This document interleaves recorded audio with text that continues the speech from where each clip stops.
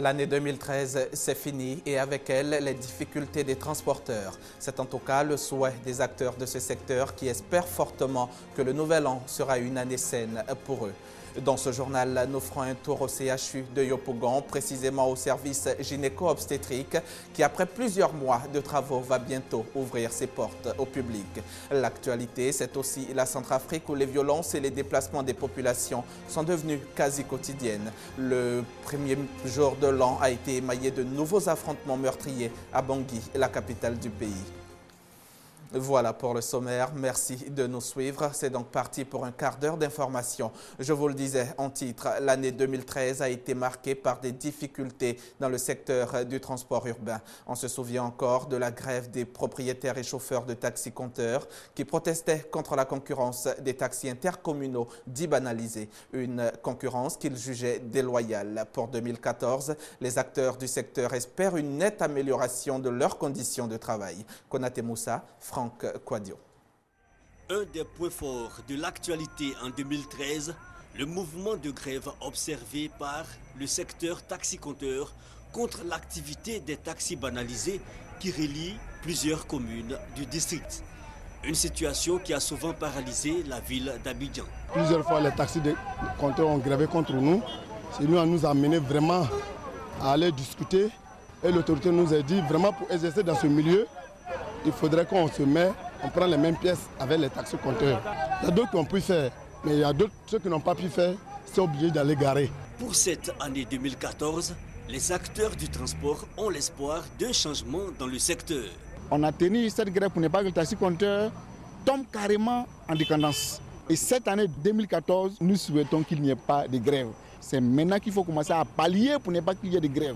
Les leaders syndicaux du transport saluent certaines initiatives et invitent les acteurs à la responsabilité. La fluidité a été parfaite. 2013, il y a beaucoup de barrages qui ont été démantelés. Les raquettes ont vraiment diminué. On demande aussi à nos camarades chauffeurs de respecter les règles du code de la route. En 2013, nous avons eu la chance d'installer le Haut Conseil. Et ça nous permet aujourd'hui d'éliminer les syndicats qui ne sont pas représentatifs sur le terrain. Le président de la République qui a fait les routes, les ponts, grâce à lui aujourd'hui, nous pouvons dire que 2014 est l'année des transporteurs. L'un des vœux les plus chers des transporteurs demeure le renouvellement du parc automobile vu l'état de vieillissement des véhicules de transport. La réouverture du service gynéco-obstétrique du centre hospitalier et universitaire de Yopougon, c'est pour bientôt, dans ce mois de janvier plus précisément. Déjà plusieurs mois que les travaux de réhabilitation de ce service ont été engagés. Dans l'après-midi du 31 décembre, Raymond Goudou-Kofi, la ministre de la Santé et de la lutte contre le sida, s'est rendue au CHU pour constater la progression des travaux. Elle se dit satisfaite. Estelle Brou, Christelle Menant.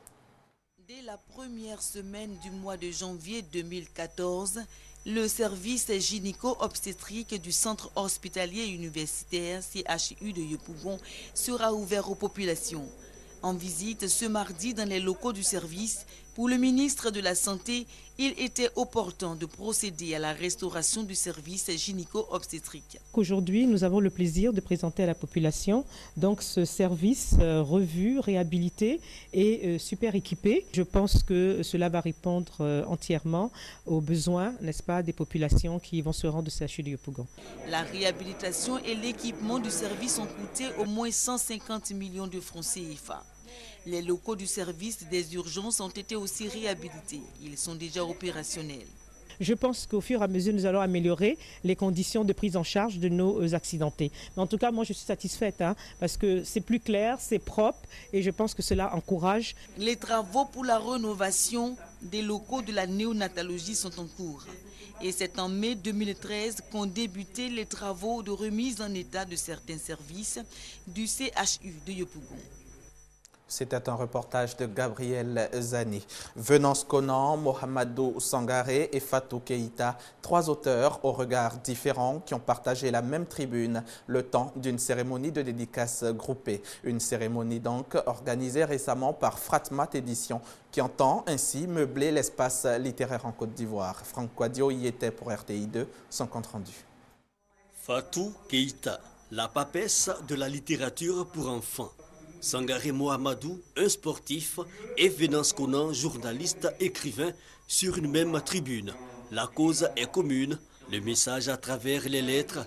Fatou Keita ouvre le bal avec Kajolian, la petite mécano, l'histoire d'une petite fille qui ne s'intéressait qu'à la mécanique, un appel à briser les préjugés. Les femmes, de toutes les façons, c'est une évidence, elles-mêmes, très souvent, elles s'auto-censurent. Donc, il s'agit de booster les femmes, booster les filles, leur dire qu'elles aussi, elles peuvent. Petit enfant deviendra grand et jouera peut-être au football. Les règles de ce sport sont d'ailleurs décryptées par le technicien Mohamedou Sangari. Il expose la théorie Mosang, un baromètre pour une meilleure évaluation des niveaux footballistiques dans un pays. La théorie Mosang, c'est une théorie qui s'applique en Côte d'Ivoire, qui peut s'appliquer au Burkina, au Mali, au Brésil, en fonction du nombre d'équipes qui sort par rapport aux confédérations. Venance Conan, pour sa part, se veut satirique. Sa chronique afro-sarcastique dresse le bilan des 50 dernières années des États africains. L'éternel afro-pessimiste, pour une fois, surprend son monde. On s'est beaucoup amusé pendant ces 50 dernières années. Il faut que nos enfants apprennent, avec sans avoir raison, apprendre à lier le bois au bois. Faut que tous nos enfants aient à l'école et qu'on commence à aimer quand même un peu le travail. Fatou Keïta, Mohamedou Sangare et Venance Konan les trois dernières publications du Fratmat Édition présentées au public, des auteurs plus que jamais dans l'ère de leur temps.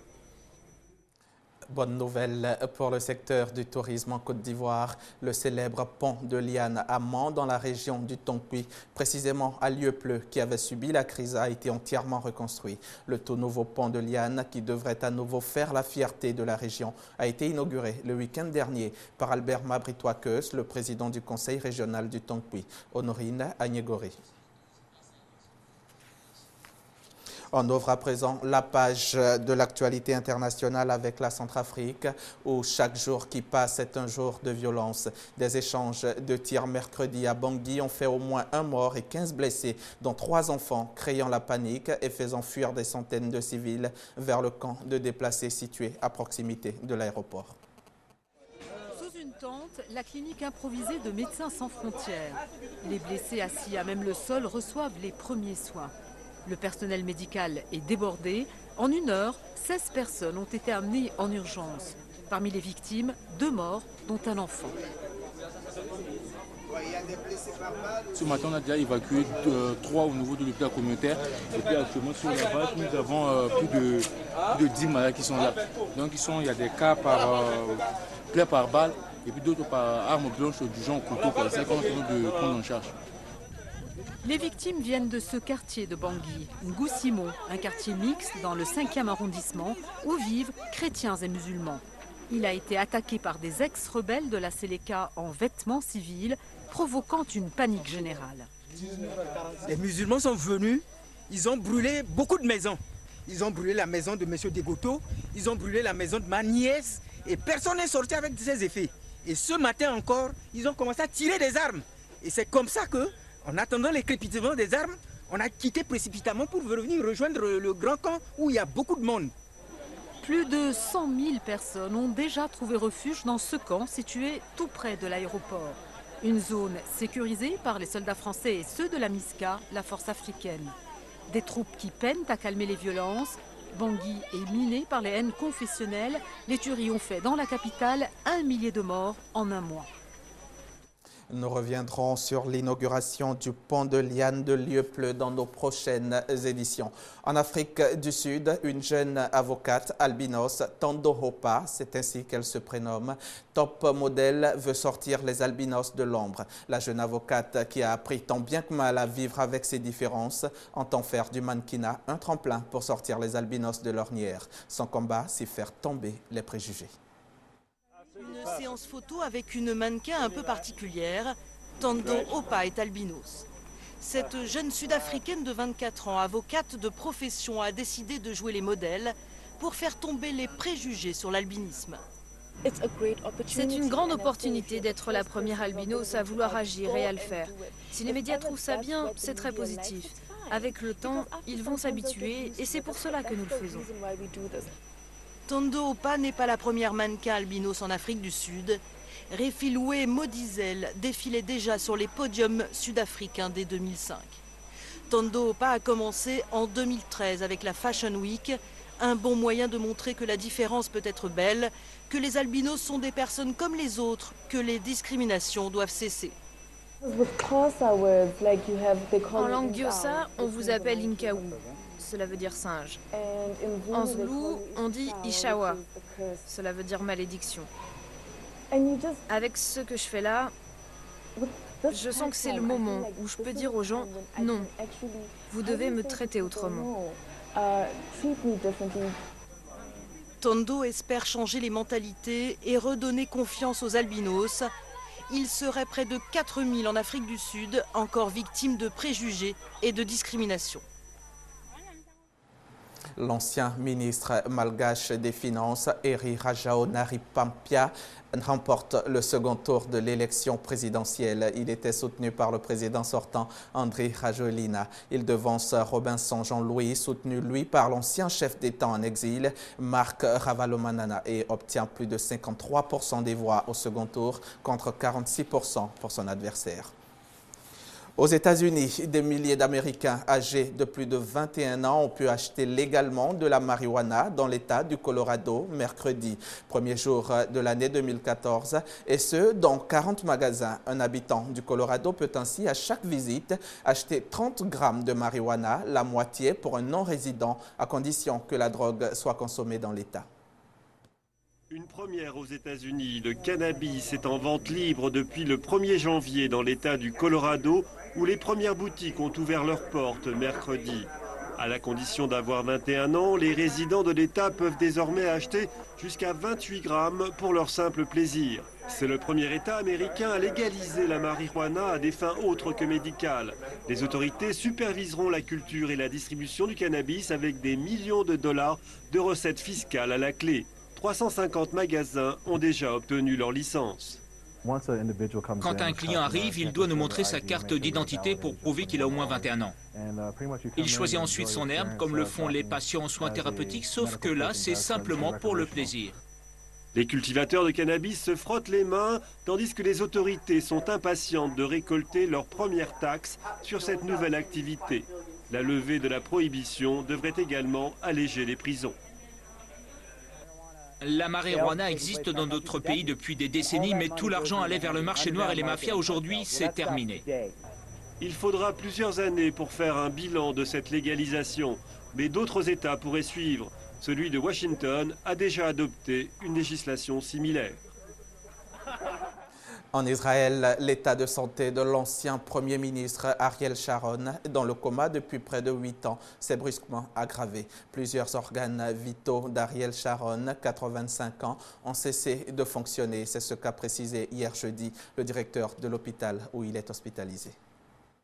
L'état de santé d'Ariel Sharon, hospitalisé à Tel Aviv, s'est brusquement aggravé. Le directeur de l'hôpital a confirmé jeudi que l'ancien Premier ministre israélien, âgé de 85 ans, plongé dans le coma depuis 8 ans, était dans un état critique, sans doute irréversible. Plusieurs organes vitaux sont touchés. Les fils d'Ariel Sharon avaient décidé de maintenir en vie sous assistance médicale l'ancien général, pilier de la droite israélienne, terrassé en 2006 par une attaque cérébrale. Il n'avait manifesté depuis aucun signe de réveil. Piégés au milieu de l'Antarctique depuis le 24 décembre, les 74 passagers de l'académique Chokalski ont tous été secourus hier dans la matinée. Leur évacuation, plusieurs fois retardée, a finalement pu être effectuée grâce à l'arrivée sur place d'un hélicoptère chinois chinois à la rescousse du navire russe Chokalski, piégé dans les glaces de l'Antarctique depuis plus d'une semaine. Après plusieurs tentatives infructueuses pour les secourir, c'est donc par la voie des airs que les 74 passagers et membres d'équipage ont été évacués jeudi, à raison de 12 personnes par rotation, vers un bâtiment australien. Les passagers du Chokalski avaient entrepris cette traversée pour reproduire l'expédition menée il y a un siècle par l'explorateur australien Mawson. C'est la fin de ce journal. Vous l'avez suivi, merci. Mais ne zappez pas, nos programmes se poursuivent sur RTI 2.